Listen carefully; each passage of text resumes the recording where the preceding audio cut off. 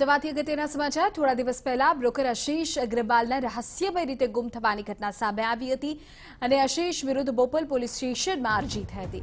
હવે શ્યામલ ક્રેવિટાસ નામની સ્કીમમાં બ્રોકર આશીષે સસ્તા ભાવમાં ઓફિસ માટે રોકાણ કરવા કહોવાનું અરજીમાં નોંધાયું છે. ત્રણ હજાર પાંચસો સ્ક્વેર ફૂટ ઓફિસના બહાને છપ્પન પચાસ લાખ રૂપિયા ચેક મારફતે આપ્યા બાદમાં દસ ટકા રકમ પેટે સન રિયાલિટી નામનો ચેક માંગતા.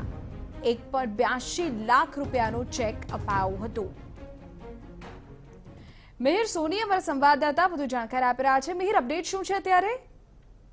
વિધિ જે અશેષ અગ્રવાલ, જે બ્રોકર છે કે દસ દિવસ થઈ ગયા છે, જે રહસ્યમય રીતના ગુમ થઈ ગયો છે જો કે ખૂબ જ ચર્ચા થઈ હતી કે કરોડો રૂપિયાનું ફુલેકું ફેરવી અને તે ફરાર થઈ ગયો છે પરંતુ કોઈ પણ ભોગ બનનાર છે કે જે પોલીસ સમક્ષ આવતા ન હતા પરંતુ એક જે વેપારી છે કે રિયલ એસ્ટેટનું પણ વેપાર કરે છે, જે જે આશીષ પટેલ નામના જે વેપારી છે તે અત્યારે હાલ સામે આવ્યા છે. જેને બોપલ પોલીસ સ્ટેશનમાં ફરિયાદ એટલે કે એક અરજી કરી છે. હજી સુધી કોઈ ફરિયાદ દાખલ નથી થઈ.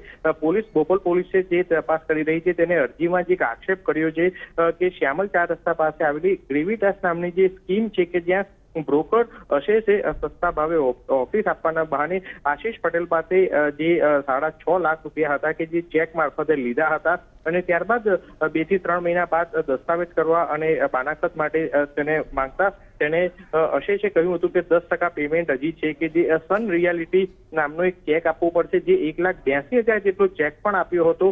અને આમ કરી અને લગભગ આઠ લાખ રૂપિયા જેટલા જે છેતરપિંડીના પૈસા છે તે લઈ લીધા હતા અને લેટર પણ આપ્યો હતો સન બિલ્ડરના નામનો. પરંતુ છેલ્લા છ મહિનાથી બ્રોકર અશેષ છે ગોળ ગોળ વાત ફેરવતો હતો અને અચાનક જ ગુમ થઈ જતા આજે અશેષ વિરુદ્ધમાં અરજી કરવામાં આવી છે અને બોપલ પોલીસે જે આ સમગ્ર જે તપાસ છે કરી રહી છે કે કઈ રીતના છેતરપિંડી થઈ છે. બિલકુલ મિહિર આભાર તમામ જાણકારી બદલ. વધુ સમાચાર માટે આપ જોતા રહો ટીવી